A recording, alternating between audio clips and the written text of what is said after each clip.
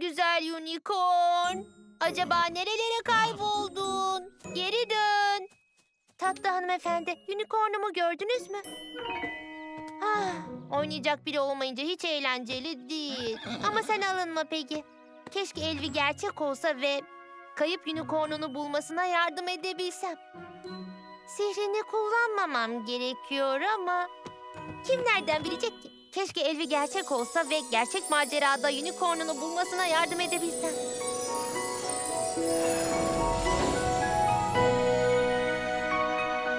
Ben neredeyim? Vay canına. Burası tuhaf görünüyor ama gün batmadan unicornumu bulmam gerek. Hmm. Merhaba Charles. Yeni arkadaşın kim? Aa, merhaba Ken. Bu Elvi. O bir unicorn muhafızı. Yanlışlıkla bilerek onun kitaptan gerçek hayata gelmesini sağladım. Ee, merhaba. O zevk bana ait Nazik Beyefendi. Memnun oldum. Kitaba geri dönmen gerek. Elbette döneceğim. Unicornumu bulur bulmaz. Bekle.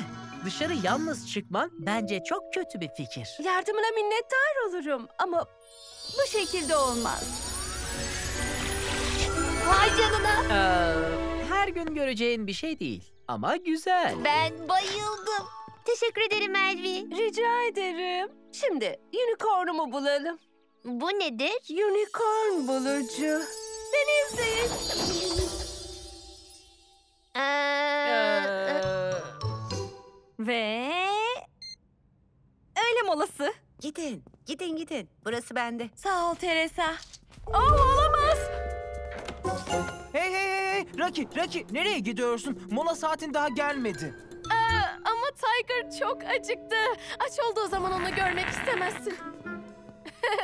Aa, Teresa benim yerime bakar. Tiger'a baktığın için sağ ol. Görüşürüz.